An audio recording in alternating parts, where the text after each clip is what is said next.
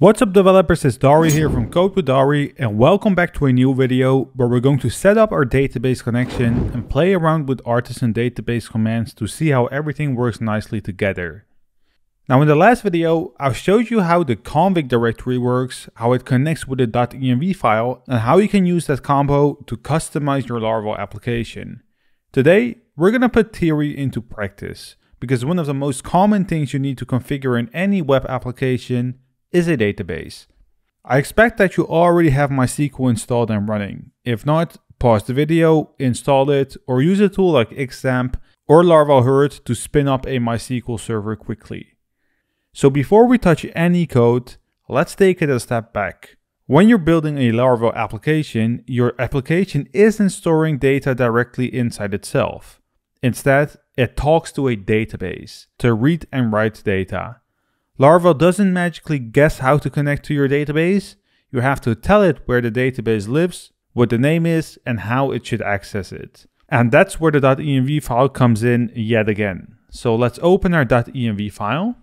And let's scroll down a little bit and try to find the keys starting with db underscore right here.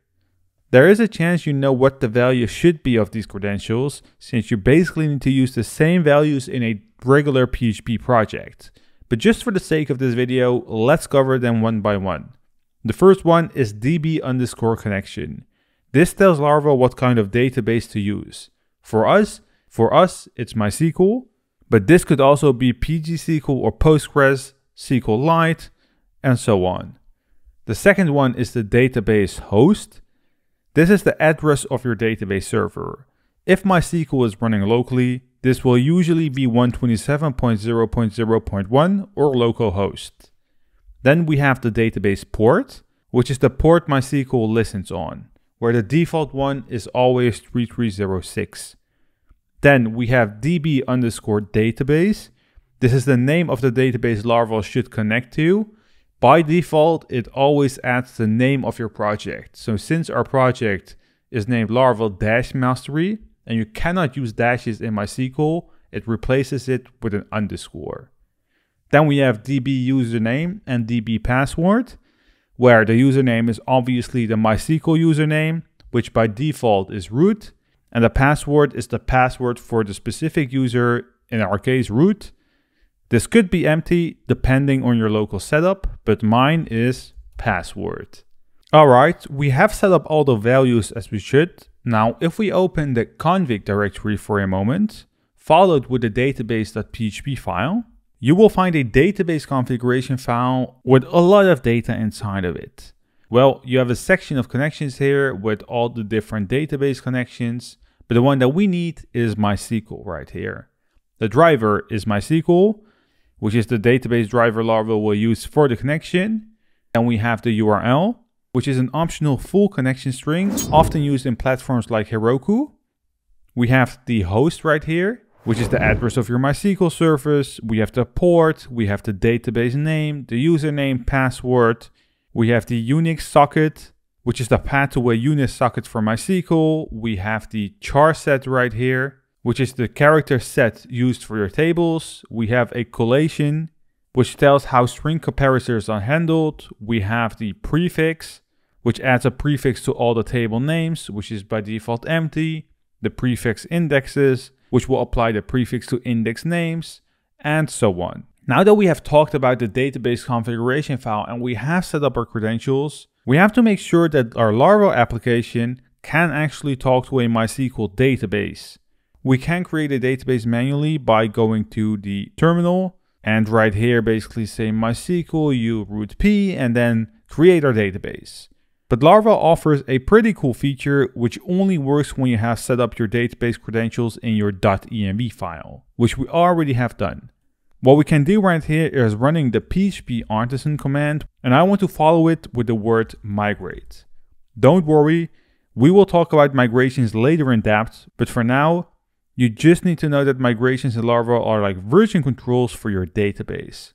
Instead of manually creating tables or changing columns, you write small migration files in PHP code that describe those changes in code.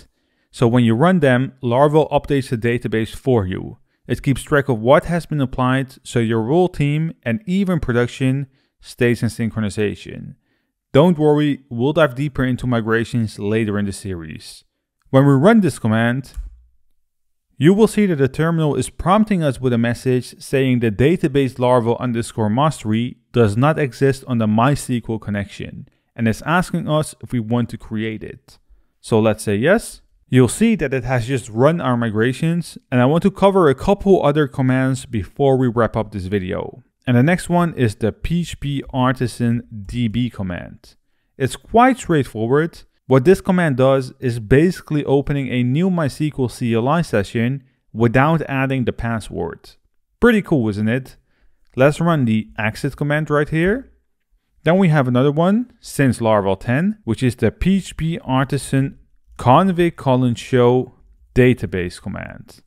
This will let you inspect the current value of a configuration file for a specific config key. In this case, you're asking Laravel, show me everything inside the config slash database.php file, including any .env value that has been resolved. So the driver, URL, database name, prefix, followed with the entire list. The next command is the php artisan db colon table command. This command accepts one argument, which is the name of the table you want to inspect. By default, Laravel always creates the users table, so let's write down users. The output right here includes all the important information about the table, you see a list of every column, so ID, name, email, email verified at, password, remember token, and the timestamps. You'll see its data types, so big int, varchar, and so on. Whether it can be null or not. So for example, the remember token, which is nullable. And whether it's an auto increment column or not, for example, for the ID. Basically, it's a full blueprint of the table directly in your terminal. Now here's why this command is especially useful. This command has to be connected to your database in order to fetch this information. I basically see this as a quick test to check if the connection settings are correct. If Laravel can't connect, you will see an error. If it can, you'll see the schema printed out. So let's navigate to PHP Storm for a moment. Let's open our .env file and let's just make a typo for our password. If we navigate back to the terminal and run the command, you will see that we have been prompted with an access denied for user message. Now, let's quickly undo it because we don't want to have errors right here. Let's double test it and you'll see that it's up and running again. Alright, that was it for now. I want to wrap up this video where I showed you how you could easily connect to your MySQL database. Make sure to subscribe, turn on the bell and follow along because we're going to go deeper and deeper, but in a simple beginner-friendly way. Thank you for watching this video. In the next video, we're going to have a look at 10 must-know Laravel configuration commands.